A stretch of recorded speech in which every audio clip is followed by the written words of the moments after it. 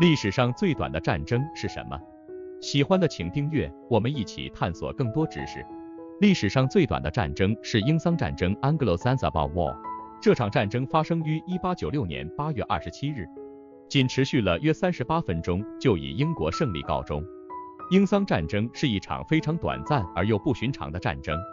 一八九六年，桑吉巴尔苏丹国 （Sultanate of Zanzibar） 的最高统治者贾马哈密德比诺 （Khalid bin Barkhash） 在不合法的情况下继位。英国政府支持的另一个候选人哈马德本穆罕默德 （Hamud bin Mohammed） 于是向英国总督亨利埃弗里斯特·约翰奥亚特 （Henry Everard John Owen） 寻求援助。英国政府于是派出一支由两艘巡洋舰、两艘炮舰和九百名士兵组成的舰队前往桑吉巴尔。一八九六年八月二十七日早上九时，英国舰队开始对桑吉巴尔进行攻击，同时英国的地面部队也开始进攻。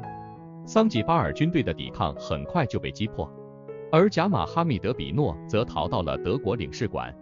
不到四十分钟的时间，英国军队就占领了桑吉巴尔的皇宫，并宣布哈马德本穆罕默德为新的苏丹。这场战争的短暂性质在当时引起了舆论的关注。也引起了一些讽刺和幽默。它在当时被称为世界上最短的战争，这个称号也在后来得到了广泛的认可。